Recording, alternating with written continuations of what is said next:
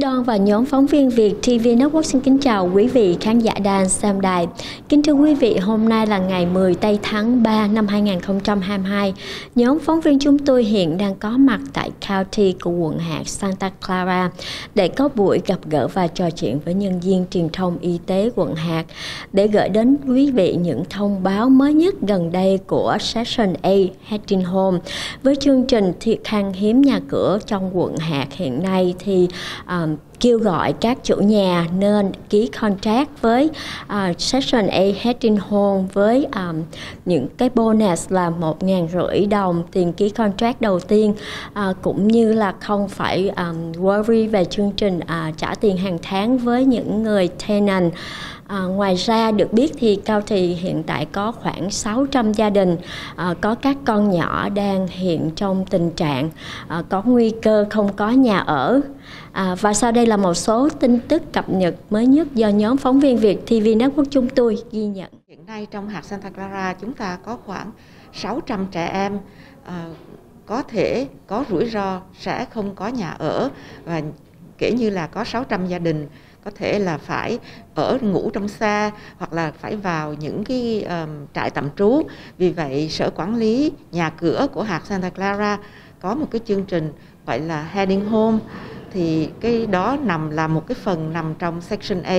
để kêu gọi tất cả những người nào có nhà ờ, muốn cho thuê hoặc là có nhà cho thuê mà có người sắp dọn ra thì có thể vào cái chương trình này và để có rất là nhiều quyền lợi. Chẳng hạn như là à, mỗi tháng thì tiền nhà sẽ được bảo đảm do cái uh, sở housing authority họ trả thẳng cho cái người um, chủ nhà. Rồi ngoài ra nếu mà những cái người nào mà mới vào chương trình này mà có đủ điều kiện thì cũng có thể được hưởng đến 1.500 Mỹ Kim với tình trạng nhà cửa đắt đỏ và cũng như là những cái khó khăn do Covid gây ra. Thì có nhiều gia đình uh, hiện nay người ta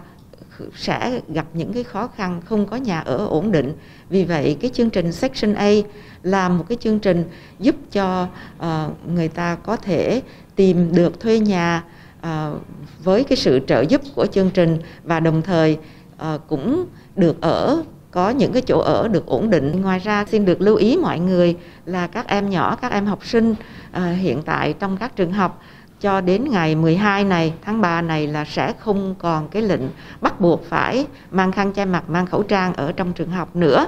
Um, tuy nhiên từ đây cho đến à, lúc ừ, ngày 12 thì các trường học vẫn theo những cái quy định cũ. Và bắt đầu từ ngày 12 trở đi thì à, trong trường học không còn cái lệnh phải bắt buộc mang khẩu trang. Tuy nhiên à, các trường học để bảo vệ an toàn cho các em cho phụ huynh và cho những cái nhân viên thầy cô giáo làm việc ở trong trường thì các trường học sẽ áp dụng cái ờ, chính sách gọi là uh, group tracing tức là theo dõi cái sự lây nhiễm cho từng cả nhóm luôn. Kính thưa quý vị, vừa rồi là một số ghi nhận do nhóm phóng viên Việt TV Network chúng tôi thực hiện. Tiết Đoan tường trình từ thành phố San Jose, California. Xin kính chào quý vị và xin gặp lại quý vị vào những lần phóng sự kỳ sau.